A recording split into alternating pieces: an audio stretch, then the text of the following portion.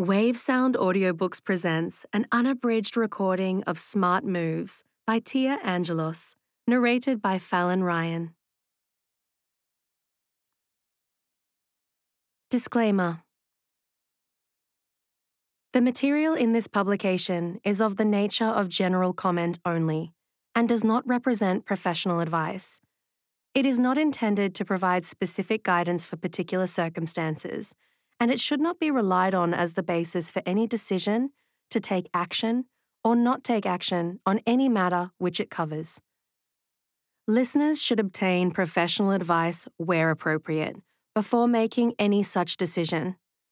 To the maximum extent permitted by law, the author and publisher disclaim all responsibility and liability to any person arising directly or indirectly from any person taking or not taking action based on the information in this publication.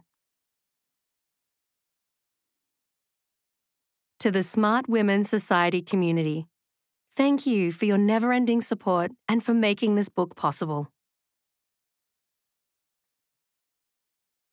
Introduction No one really prepares you for adult life. Trying to excel in your career, manage your money, maintain your friendships, look after your physical and mental health, reply to all your emails and texts, stay hydrated, avoid burnout, invest for your future, set healthy boundaries, work on your goals, be happy, and get enough sleep. If you feel exhausted after hearing that, I'm with you. It can feel like a never ending juggling act Ever since I was in school, I've always been obsessed with breaking things down into simpler steps. As a student, and then as a university tutor, I would always draw simple graphics and flowcharts, breaking down the topics we learned in class and summarizing the key points we had to know for exams. I created copies of these breakdowns and shared them with my friends and students as study notes. In university, I would help my friends write their resumes and cover letters to land internships and graduate jobs. At work, I would always preach the importance of financial independence and show my colleagues of all ages the steps to create a budget in the break room at lunchtime. Nothing beat the feeling of seeing the smile on someone's face when a topic finally clicked for them. My approach has always been the same practical, actionable, and easy to understand.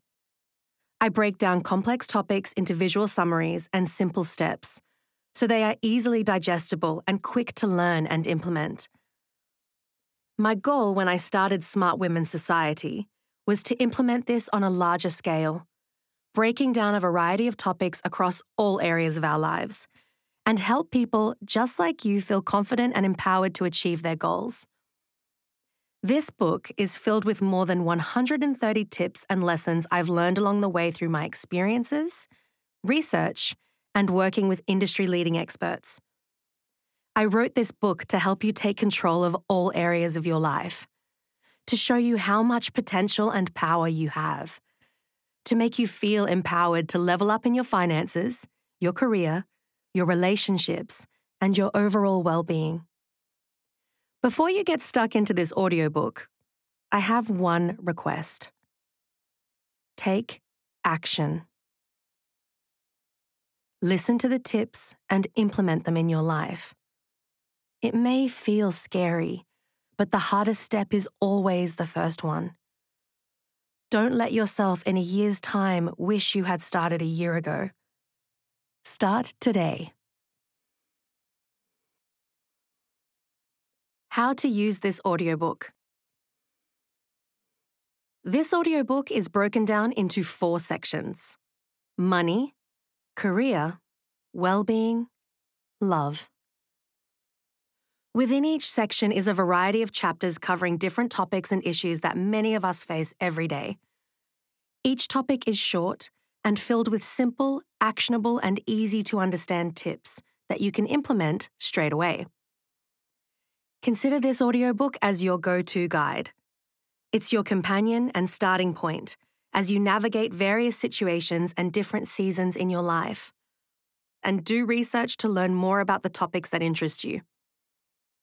You can listen to this audiobook from start to finish, or you can start at whichever chapter is most relevant or interesting to you. One month, you may want to try some new productivity techniques, and another month, you may be more focused on boosting your self confidence. Revisit the chapters as often as you need. I would love to hear about your progress. Send us a DM on our Instagram at Smart Women Society or email me at hello at smartwomensociety.com. You've got this. Money. In this section, we will cover laying the foundations, managing money, saving money, spending money, growing your money. I've made a lot of silly mistakes in my time. Some of my highlights, in no particular order, include I once went to a new hair salon to get my hair cut and coloured. I didn't ask how much it cost before the hairdresser started, and when I got to the counter, it was $650. I was absolutely mortified, but had no other option than to just pay it. I didn't realize that I had to actually cancel subscriptions after the free trial period and ended up wasting hundreds of dollars on random apps and streaming services I never used. As soon as I received an offer for my graduate role, I bought a very expensive handbag so I could look the part on my first day. I wasn't starting the job for another six months, and I had already spent a big portion of my first paycheck. I was running late to an appointment and couldn't find a park, so I stopped in a loading zone outside. I came out 15 minutes later to a very hefty fine. I always thought I needed to treat myself after a long week at work and would constantly buy random beauty items or new clothes to boost my mood. The man at the post office remembered my name from how often I was going in and would snidely ask me, So, what did you get this week? We're all human. We all make mistakes that we may not be particularly proud of. However, what's important is that we forgive ourselves for these past mistakes and learn how we can improve in the future. For many people, learning how to manage money was never really taught when they were growing up. The beliefs and the behaviors that we have towards money usually stem from how we saw our parents and other people interact with money, and what we saw in movies or on TV. Maybe you've always told yourself that money is too hard. Or maybe you've convinced yourself that it's too late to change your relationship with money. But you are far more capable than you think. And there is no better time than today to take the first step to transform not only your money, but your life. Remember, personal finance is just that personal. We all have our own unique upbringings privileges and backgrounds, and negatively comparing yourself to someone else's situation is a waste of your time. The only person you should be comparing yourself to is the person you were yesterday. If you focus on becoming just 1% better every day, you will see huge progress over time. You might be wondering, what does 1% better even look like? 1% better can include a variety of things, such as working on your money mindset, forgiving yourself for past money mistakes, setting financial goals, creating a budget, paying off debt, being financially prepared for an emergency, knowing where your money goes every month, exploring ways to grow and invest your money, and learning how to shop smarter and avoid impulse shopping. It may feel overwhelming, confusing, or daunting, but remember that you do not have to change everything all at once. Pick one or a few things to focus on at a time and build systems and habits so it becomes a natural part of your life. When you feel like you have a good grasp of the topics, choose some more areas to work on and watch your confidence with money grow. What matters is that you have decided to take control, transform your relationship with money, and work towards becoming financially free. Being financially free and independent is so important. The reason for this is that when you are financially independent, it allows you to make your own decisions without the influence or control of others. It means you can say no and walk away from things that do not serve you. It means that you no longer stress about money or have money hold you back when making a decision. It means you have full control of your time and can live life on your own terms. And probably more importantly, financial freedom gives you choice.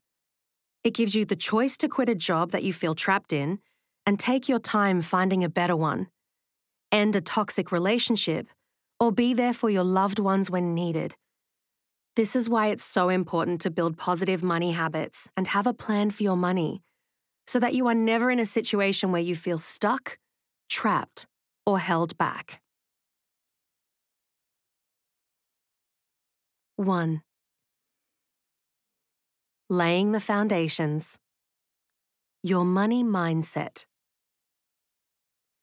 Our money mindset and attitudes towards money ultimately shape how we handle our finances. The money mindset we have is usually shaped by how we grew up around money, our experience with it growing up, and witnessing how our parents and other people interacted with money. For example, if you come from a household where your dad handled all the finances and your mum didn't make any of those decisions, then this is likely to lead to you having similar beliefs as an adult. Or if money was always scarce and a source of stress in your household, this will impact how you handle money as an adult. Improving our money mindset comes from rewiring our limiting beliefs, educating ourselves about key financial concepts and strategies, and having open discussions about our financial goals and journeys. Limiting beliefs. A lot of people tend to have a range of limiting beliefs when it comes to money that it's too hard or too complicated and they'll just never be good with it.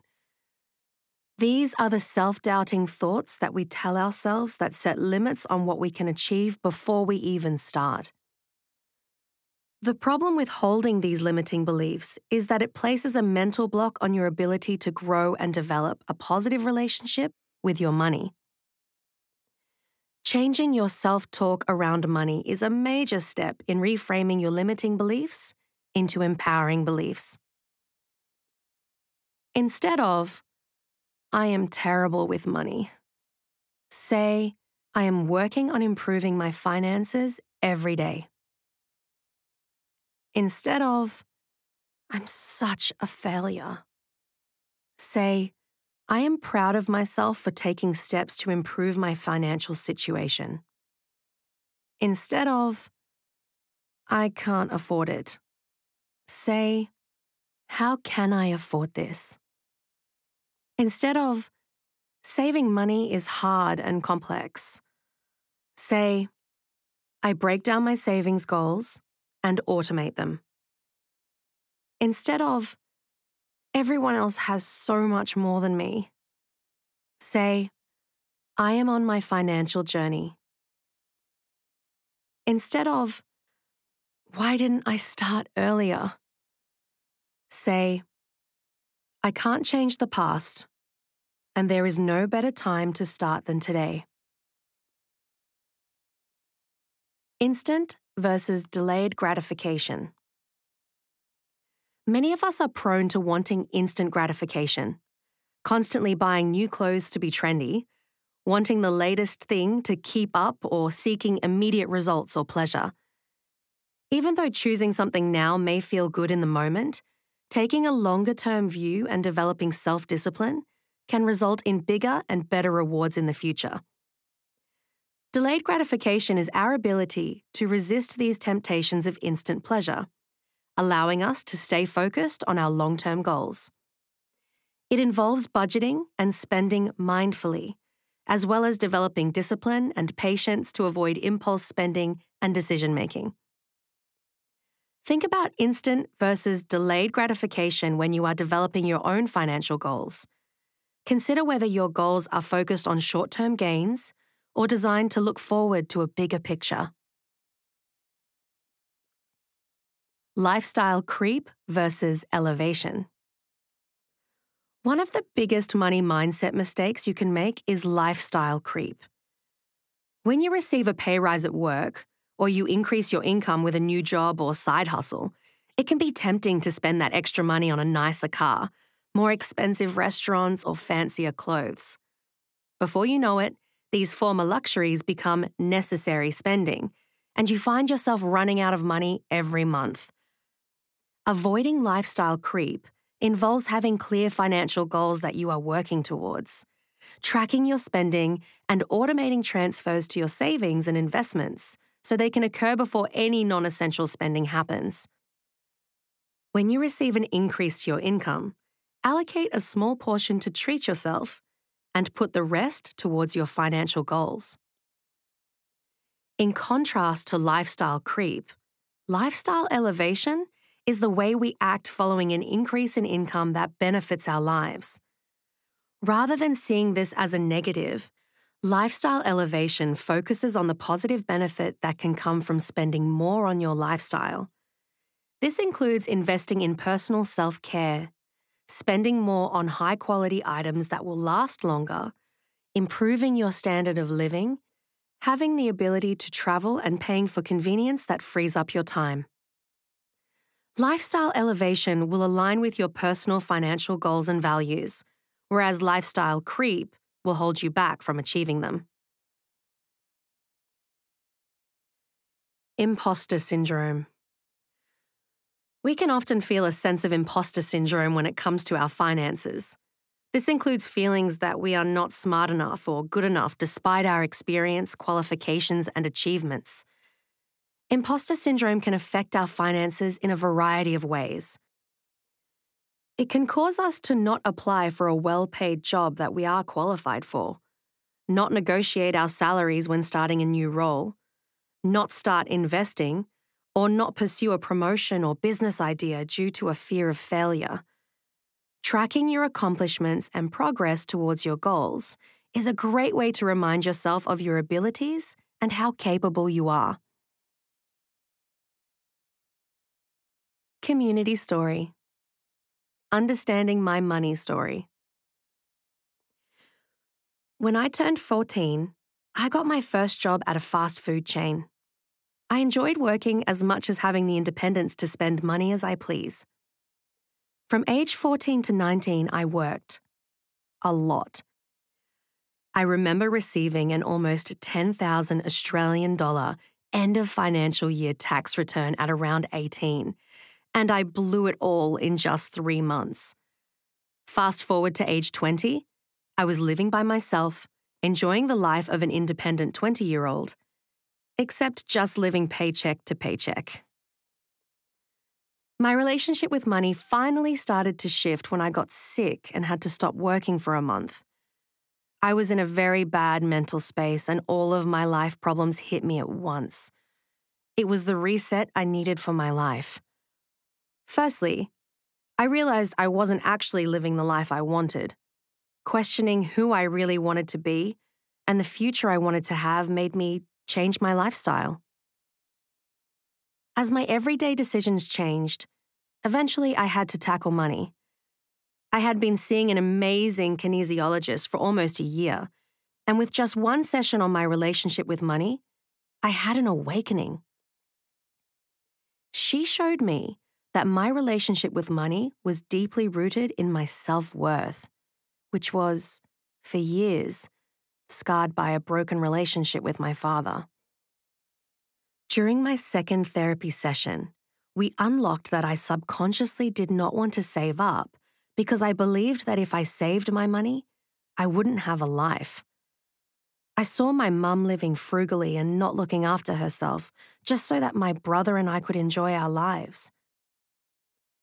After that session, I bought my first book about money and went on an Instagram and YouTube spree to find the best financial advisors.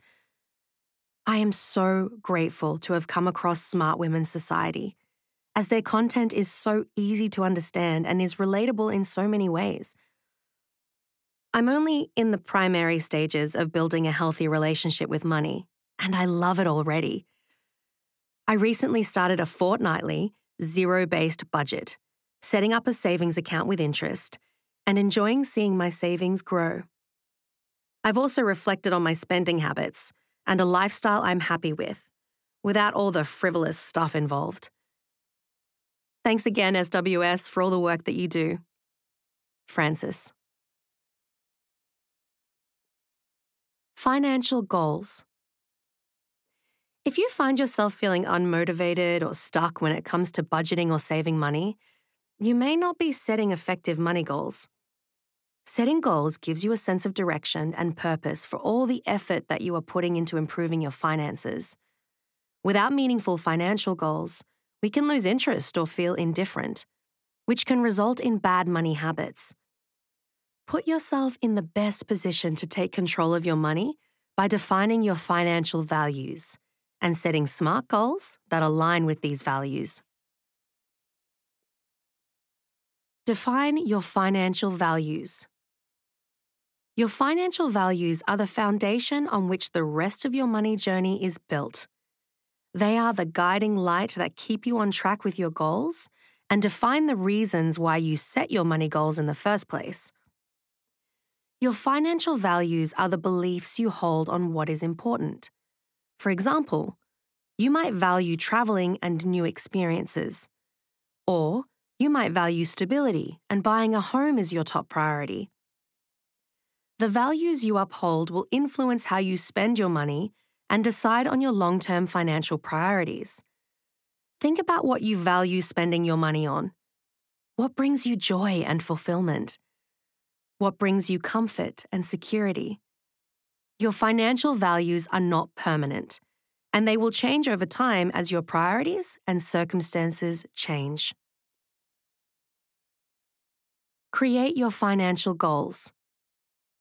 Once you have defined your financial values, the next step is setting short, medium, and long term goals that align with these values. Think of what you want to achieve in the next year, next few years, and well into the future, and write out your goals using the SMART Goals framework. Specific. Be really specific about exactly what you want to achieve. For example, your goal should be I want to save $5,000 by the end of the year, as opposed to I want to save more money this year. Measurable. Make sure your goals are measurable so you can track progress and success. For example, I want to pay off my debt in six months. Or, I want to save $3,000 for my holiday in December. Attainable. Dream big, but make sure your goals are still attainable and realistic. For example, it would be very difficult to save $50,000 a year if you earn $55,000. Your goals should be motivating but not unachievable. Relevant. Is this goal really what you want to achieve? How does this goal tie into your values and priorities in life? Having goals that are important to you will help you stay motivated to achieve them. Time bound. Set yourself a time period to achieve the goal. It's important to keep yourself accountable by setting a realistic deadline to achieve your goal. Break down your goals and track your progress. Once you have set your goals, break them down into smaller steps and milestones. If you have a yearly goal, think about what milestone you want to reach every quarter. If you have a monthly goal, think about what you want to achieve each week. Mark these milestones in your calendar and schedule check ins to evaluate your progress. Stay committed and reward yourself along the way. Achieving your money goals is never a linear path. Embrace the ups and downs of your journey and remember that small progress is still progress. What's important is that you stay consistent, resilient, and remember the why behind wanting to achieve your goal. Five financial numbers you need to know. If you want to take control of your finances, you need to know exactly where you stand at the current point in time and where you want to be. There are five financial numbers that you need to know your income, spending, debt, savings, investments, asset equity, and your net worth. Determining your current financial position will help you identify the areas where you are doing well, as well as the areas that need improvement. Tracking with these numbers over time will also show you the progress that you are making to help keep you motivated. Your income. Your income is any money that you receive on a regular basis. This will include your wages or salary, net income earned through a business, dividends or profit from your investments, interest from your bank, government payments, selling something you create or own, and any other notable positive money gain you receive. Relying on one source of income can be risky, especially if you are unexpectedly made redundant or have to quit your job. Instead, protect yourself by building multiple streams of income so you are less reliant on your wage or salary. What you need to know. What are your income streams? How much money do you make on average from each of your income streams? Your spending. Your spending each month can be divided into essential and non essential. Essential expenses are the things you need to spend money on each month to live, such as housing, bills, groceries, and transport. Conversely, non essential spending covers things like new clothes, eating out at restaurants, and subscription services. If you are unsure of your spending habits, print off your last two or three months of bank statements, grab two highlighters, and go through each transaction line by line. Use one color to highlight essential spending and the other color for non essential, discretionary spending. What you need to know How much do you spend each month? How much are your essential and non essential expenses? For your non essential spending, are there any areas you can reduce or cut down on? Your debt. Your debt is the amount of money that you have borrowed from another person or party, which you owe back to them. What you need to know How much money do you owe, and to whom? What are the terms of the debt? including the value, interest, payment due dates, and any other obligations associated with the debt. Your savings, investments, and assets. Savings and investments include the money that you put into your bank account for short term savings, longer term savings, emergency funds, sinking funds, or into investment accounts. Your assets are the things that you own that have positive economic value. Your asset equity refers to the value of what you own in your assets. In other words, the total value of the asset minus any outstanding loan or debt you may have on that asset. What you need to know How much do you have in your savings accounts? How much do you have in your investment accounts? How much equity do you have in your assets? Your net worth. Your personal net worth is the combination of what you own, assets, and what you owe, liabilities. You should use your net worth to track your progress from year to year and to hopefully see it improve and grow over time. To calculate your net worth, calculate the total value of your assets. This includes the value of your home, value of your vehicles, cash in bank accounts, value of investment accounts, value of bonds, and any other notable asset that holds value. Then, calculate the total value of your liabilities. This includes the outstanding value of your mortgage, investment loans, credit card debt, car loan, personal loans, and student loans. The difference between the two is your net worth. what you need to know. What is the total value of your assets? What is the total value of your liabilities? What is your net worth? The difference between the total value of your assets and liabilities. Signs you are financially confident. You don't count down the days to your next payday. You see money as a tool to help you live your best life.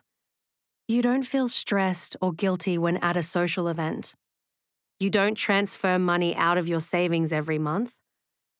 You are happy to pay for convenience or to make life easier. You don't worry about a bill or payment coming in. There is no better feeling than being confident with and in control of your money. Financial confidence is about so much more than material things, like buying flashy cars, eating at expensive restaurants, or splurging on designer clothes and bags. It's about being in control of your money and not letting it control you. It's about not feeling stressed about how you will pay for things. It's about not having money hold you back from living your best life. We develop this confidence over time by adjusting our money mindset and implementing a money management system that helps us achieve our financial goals. As you start to take control of and change your relationship with your finances, you will begin to view money as a tool instead of a stressor. 2. Managing money. Money habits to follow. Most good money habits do not come naturally. They are developed over time with consistent practice and a shift in mindset. Being good with your money is more than setting a New Year's resolution and thinking that is all that's required to achieve your financial goals. Like any other positive habit, taking control of your finances is developed through repetition, diligence, and focus. Here is a simple summary of actions that you can do daily, weekly, monthly, and yearly to get better with your money. Daily. Track your spending check your bank account. Weekly, weekly check in, plan your meals. Monthly, review and update your budget. Automate your bills, savings, and investments. Yearly, review insurances, negotiate bills. Having a budget versus being on a budget. The term budget has always seemed to carry a negative stigma with it. It is often misconstrued as something that is restricting, holds us back, and means we can never have fun again. The truth is that a budget is simply a plan for your money. It helps you figure out where you are spending your money each month, making sure you have enough for your bills while simultaneously planning ahead for your future and all the fun things you want to do.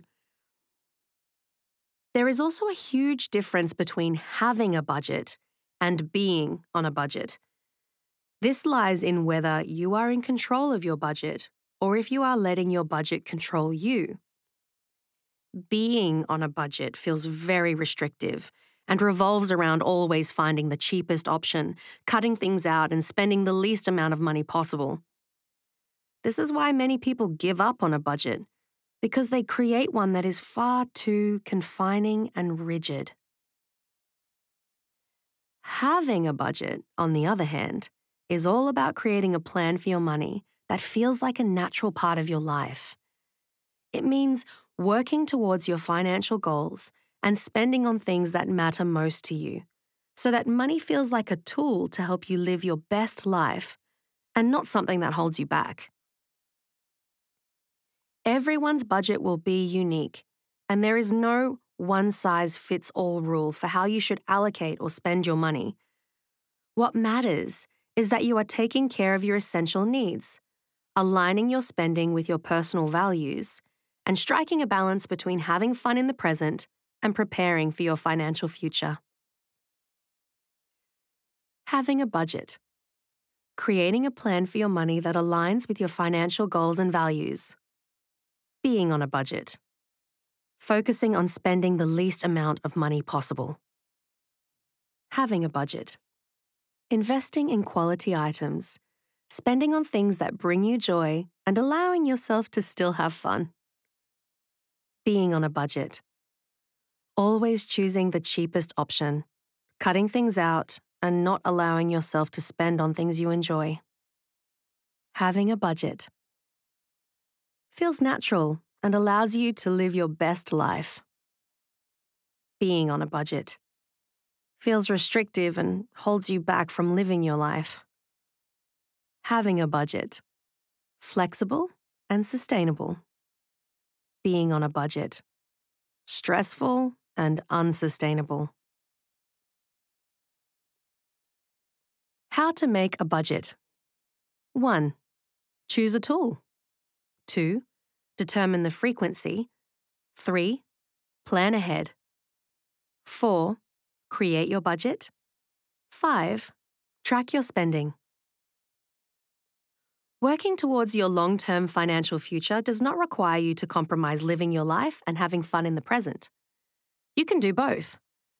A well planned budget prioritizes both your short and long term goals, making you feel confident and empowered with your money. Creating and updating your budget is not a time consuming process.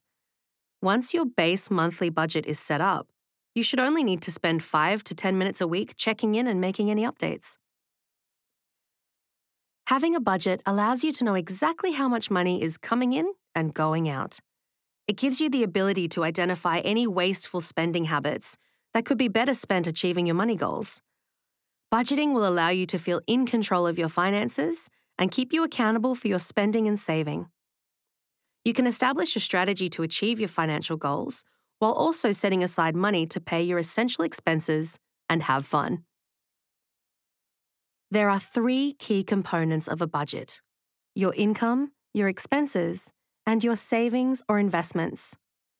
A budget is a plan for how you will allocate your income across your expenses, both essential and non essential, and savings and investments. Choose a tool. Before we start, you need to select a budgeting tool. This can either be handwritten, a spreadsheet, or through an app. I recommend using our Wealth Building Dashboard budgeting spreadsheet, available from smartwomensociety.com forward slash smart moves audiobook, as it is super easy to use and update. Determine the frequency. Before you start creating your budget, have a think about what frequency will work best for you. A budget is typically set monthly to best capture common income and expense payment cycles. But depending on your circumstances, a fortnightly or quarterly budget frequency may work best. No matter what frequency you select, be sure that all of your income and expenses are converted to a consistent frequency.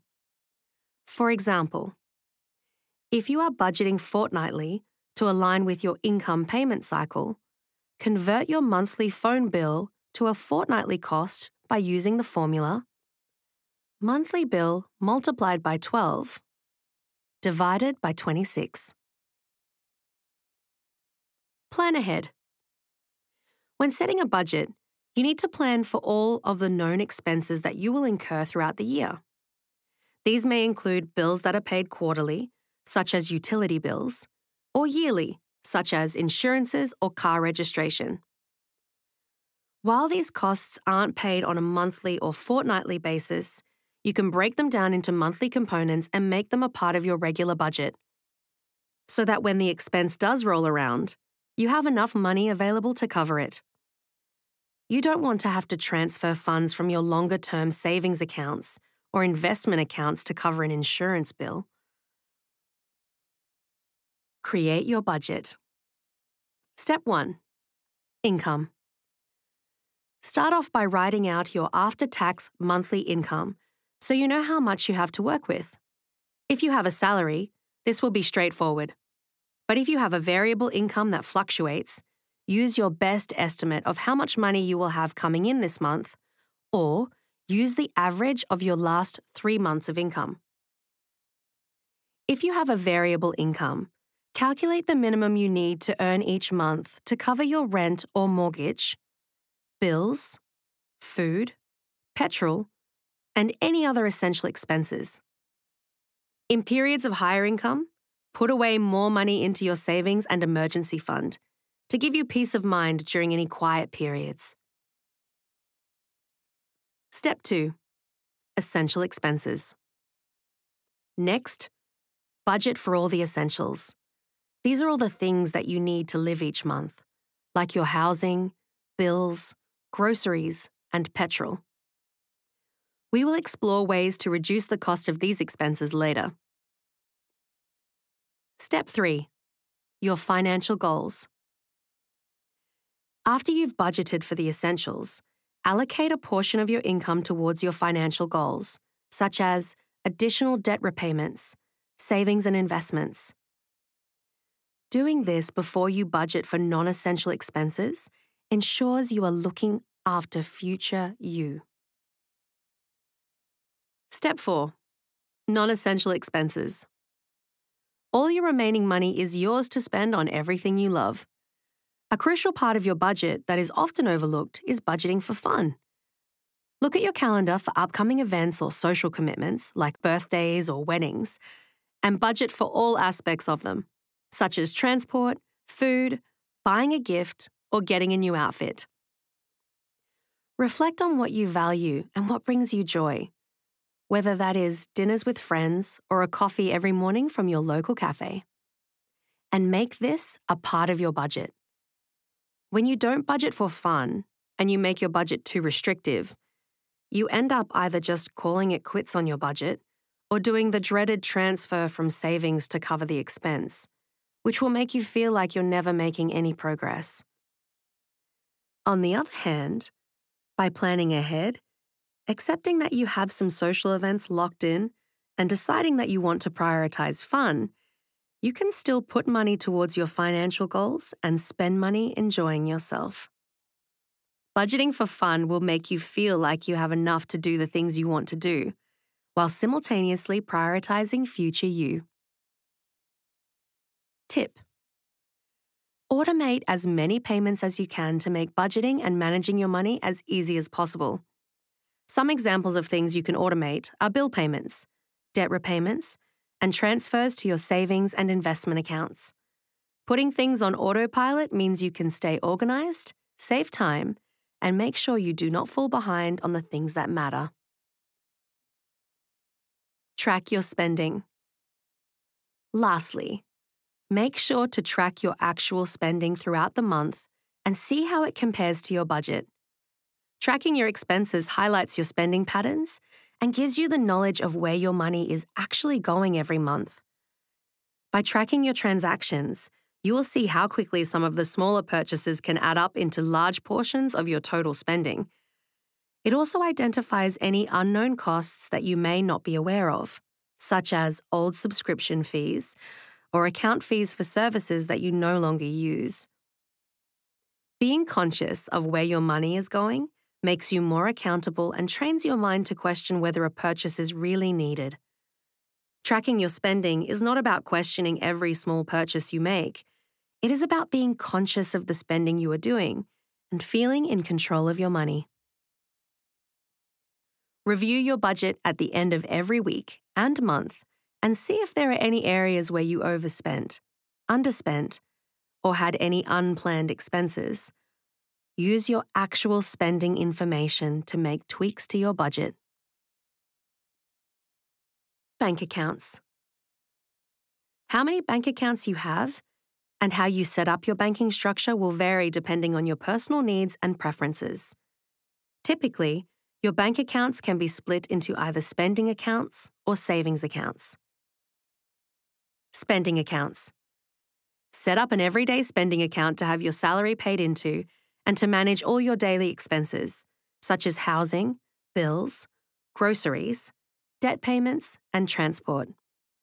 When looking for an everyday spending account, search for accounts with no account keeping fees, no minimum deposits, and no overdraft fees. You may also choose to have a separate spending account for non essential, fun spending, to keep this spending separate from your everyday essentials. Savings accounts. There is no magic number of savings accounts to have. Some people prefer having one account to house all their savings. Others prefer splitting it into two accounts for short term and longer term goals. And others like to have multiple savings accounts for each individual goal. Choose a method that works best for you and set up automatic transfers from your everyday spending account into these savings accounts. When looking for a new savings account, you should compare the following features Interest rate. What is the rate and what is the frequency of payment? Is this a high interest bank account? Account fee. Is there a monthly account management fee? Minimum or maximum balances. Is there a minimum or maximum balance required to receive the monthly interest? Withdrawals. Is there a limit on how many times you can withdraw money from the account? Deposits. Do you need to make regular deposits to keep the account open or to gain the full interest rate? An account that is a necessity is an emergency fund savings account. This account is typically held at a different bank from the one you do your daily banking with and serves as a safety net for unexpected situations. We will explore this account further in the next topic. Community Story Taking Control of Cash Flow. I'm a sole trader and have always struggled with knowing how much money to put away for tax and super. I got to tax time one year and realized I hadn't put the right amount away each quarter. This meant I had to come up with money that I had potentially already spent. I decided to change my habits. I put a percentage of tax away each pay in an account I can't access, along with a percentage to separate super, spend, and save accounts. This really helps me monitor where my money is going and makes me think twice about whether I really want to buy something that I potentially don't have the money for at the time. I feel much more in control of where my money is going now and rest comfortably at night knowing I won't be out of pocket at tax time. Liz. Emergency funds. Life is unpredictable, and unexpected emergencies and events are inevitable. Things like job loss, major health or dental expenses, relationship breakdowns, emergency pet care, car issues, home repairs, and unexpected travel for family emergencies, etc., have a way of randomly popping up when we least expect it one of the most important bank accounts you need is an emergency fund. It is a savings account that also acts as a safety net. Having an emergency fund means that whenever an emergency occurs, you do not have to go into debt or worry about the money side of things. How much should my emergency fund have? Your emergency fund should ideally cover three to six months of living expenses, such as housing, bills, groceries, and transport. If you are just getting started with your emergency fund and your monthly living expenses are $3,000, saving $9,000 to $18,000 can feel overwhelming. Instead, focus on saving $1,000 as quickly as you can, and then set aside a portion of your income each month as part of your budget to grow your emergency fund over time. Once you have saved an emergency fund that you are comfortable with, reallocate this budget back to your other savings and investments. You should keep your emergency fund in a high yield savings account, ideally with a different bank from your other accounts so that you are not tempted to spend it. Should I spend my emergency fund? A flash sale at your favorite store is not an emergency. Neither is a friend's wedding that you have known about for months you should only spend your emergency fund in proper emergencies. To make sure you are spending your emergency fund for the right reasons, ask yourself Is it necessary? Is it unexpected? Is it urgent? After an emergency occurs, focus on topping your emergency fund back up to its full value. Questions to ask before taking on debt. An important personal finance principle is to spend less than you earn. What this means is that your expenses should not outweigh your income. Otherwise, you will need to go into debt to cover the difference. Taking on debt is a serious commitment, so it is important that you understand the circumstances and details surrounding a loan. Ask yourself the following questions before taking on any debt and make sure you are comfortable answering them all. Will you be able to afford the repayments if the interest rates rise in the future? Are you improving your financial position by taking on this debt? Do you understand the risks associated with borrowing this money and the repercussions if you are unable to make the payments? Is taking on this debt necessary? Can you save for this instead?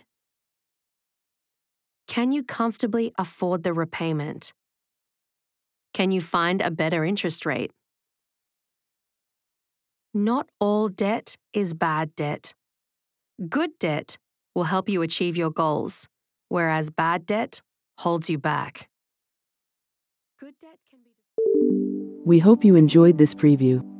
To continue listening to this audiobook on Google Play Books, use the link in the video description.